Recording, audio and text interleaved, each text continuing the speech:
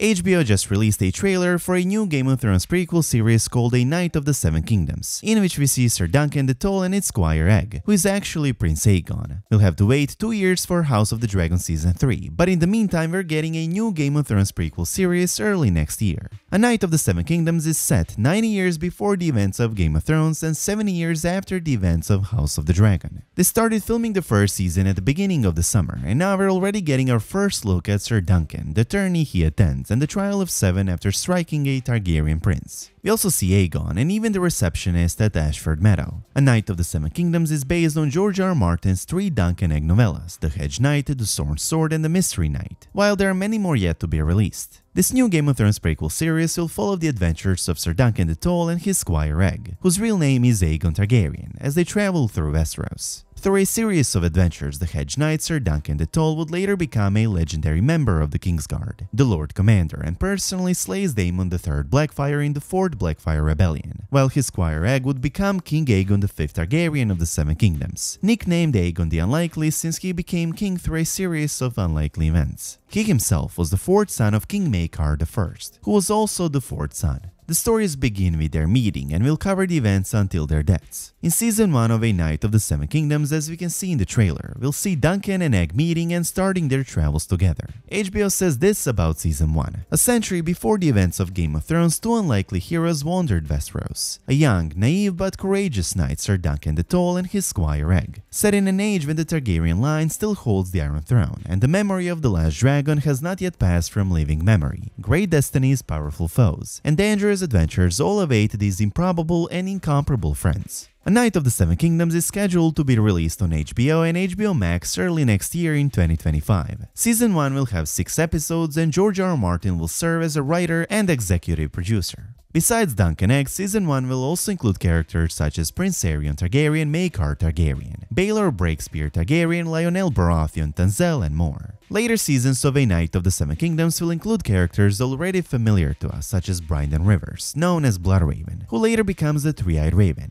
Aemon Targaryen who was Maester at the Wall in Game of Thrones, young Tywin Lannister, Barristan Selmy, and Daenerys' father Aerys Targaryen, and legendary events such as the Blackfyre Rebellions and much more. The first season will be an adaptation of the first George R. R. Martin's Dunk and Egg novellas The Hedge Knight. It tells the tale of how Dunk took the role of a Hedge Knight and met his squire, a young boy named Egg, on his way to compete in a tournament at Ashford Meadow. And here in this trailer shot, we can see him in the said tourney as it takes place. A Knight of the Seven Kingdoms Season 1 will open up with Duncan the Tall, who was raised in Flea Bottom and who is a giant of a man, almost 7 feet tall, strong and quick, and has been taught jousting and swordplay. At the beginning of the story, he is not a knight, but a squire to another hedge knight, Sir Arlen of Pennytree, who dies during the night as they travel toward a tourney. Dunk, who is his squire, buries him and pays his last respects. After considering several options, Dunk decides to continue his journey to Ashford and compete in the tourney as a knight. He adopts Sir Arlen's armor as his own, as well as his equipment and three horses, all of which we can see here. At an inn on the road, he meets a boy with a shaved head named Egg, who secretly follows him to Ashford. The reason this boy shaves his head is to avoid being recognized by his silver hair as he is a Targaryen prince. Impressed by the boy's spirit, Dunk takes him on as his own squire for the upcoming tourney. At Ashford, Dunk sells one of his horses and old armor to be able to buy armor of his own, the one we see here.